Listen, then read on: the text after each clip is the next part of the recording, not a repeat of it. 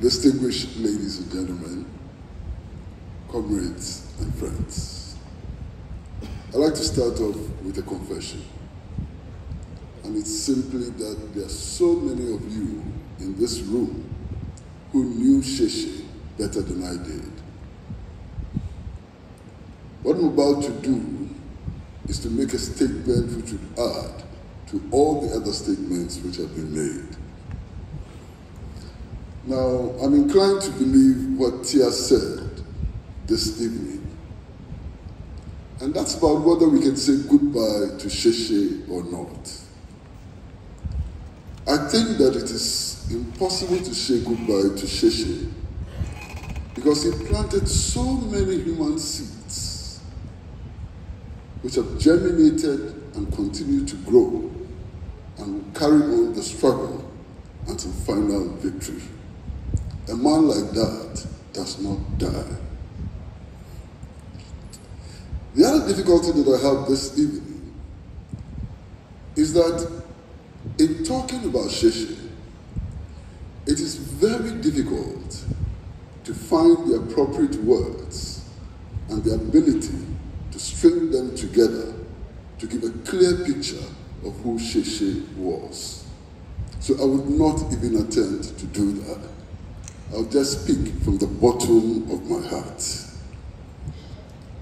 To describe Sheshe as a founding member of the movement for freedom and justice is to make an understatement because he was far more than that. I recall that around 1986, we decided to put together an alliance of left forces to begin the struggle for a return to bourgeois democracy. And we started off with the African Youth Command, the United Revolutionary Front, and the Kwame Nkrumah Revolutionary Guards. Now, this was the time that some of our excellent comrades who had worked in the PNDC system were also exiting. And it was only natural that we made approaches to them to join this broad alliance. Now, significantly, when our friends from the New Democratic Movement joined, they insisted that we could build a bigger and broader alliance to enhance our strength. And Sheshe was one of those who insisted that the alliance we had built was so narrow and that we could broaden the alliance to include the existing so-called political tradition of the Danquah Busia tradition and the Nkrumah's front and so on. So we got to work. Indeed, I can say with certainty that Sheshe and a few comrades, including many who have never been mentioned before, and I see one in this room, Ambassador Kabral Blay-Amihere, were those who recruited Professor Adu Boahen into the movement. So Sheshe did not only develop the concept, did not help us to build the structures and so on, he also participated actively in recruiting the leadership of the movement. And I recall that night when we went to the house of Professor Adu Boahen, and he was not sure, he was hesitating.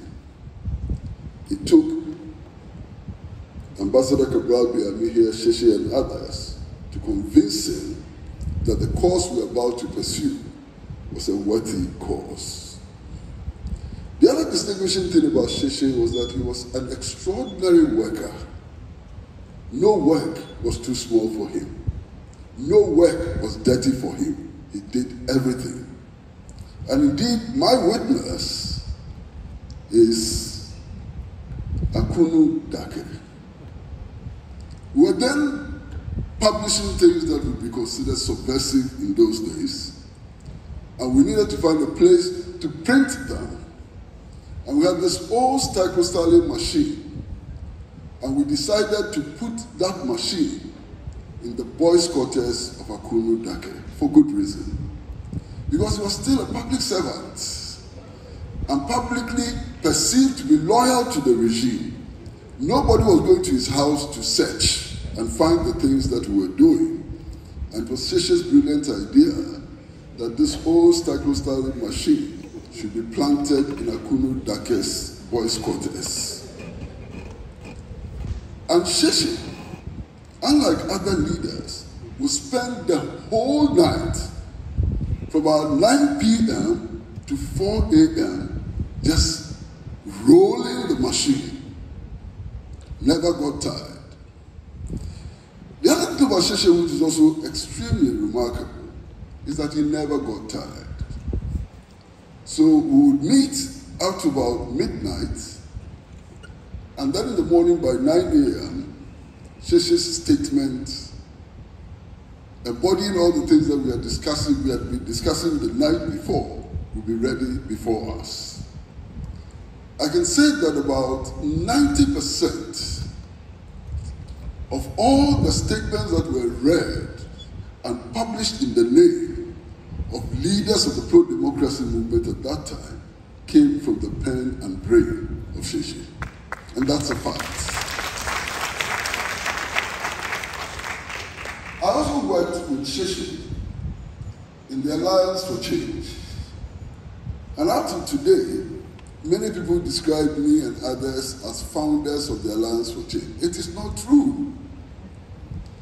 It's a small group of friends of Nana Addo Dankwa Akufo-Addo who met at the residence of Ejiri Blankson, who today is a member of the Council of State, to celebrate the birthday of Nana Addo Dankwa Akufo-Addo. It was there that the idea of forming the Alliance for Change came up. I was invited to join the Alliance for Change by Uncle Shane. You understand? So he was ahead of those of us who were described as founding members and so on. I can again say that in spite of the information which is available in the public about who did what and so on, Sheshe was the engine of Alliance for Change. Again, he wrote more than 90% of all the statements issued including those who were read by Nana Addo Dankwa Akufo-Addo. And he worked so hard to keep the movement going. There's one last thing that I'd like to say. We were in prison with Sheshe on a number of occasions, Edua Mankwa and others. And on one occasion, they are taking us to the north. Me and Sheshe have been taken to the north. But they dropped Sheshe at the Tamale prison and they continued and dumped me at the Navrongo prison. I think we were in prison for about six months then. So one night, I was informed by the warders that we were going to be released and sent back to Accra. So they brought me to the Tamale prison and I saw Sheshe. And I told Sheshe, Sheshe, it appears that the next day we are going to be released. And can you imagine what his retort was? Sheshe said, he said, why? Why are they releasing us? I have just started studying French. he was an amazing character. He loved to read anything and everything. He saw prison. He was not afraid of prison. He saw prison as an opportunity to improve his knowledge and his skills in French.